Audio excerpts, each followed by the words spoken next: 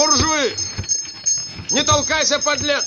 Слезай с подножки! Я тебе покажу твою мать! Мы к вам, профессор, и вот по какому делу. Кто это мы?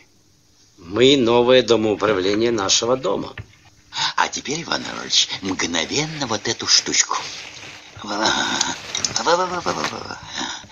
Если вы скажете, это плохо, вы мой кровный враг на всю жизнь. Профессор, шарик разовьется в чрезвычайно высокую психическую личность. Вы думаете?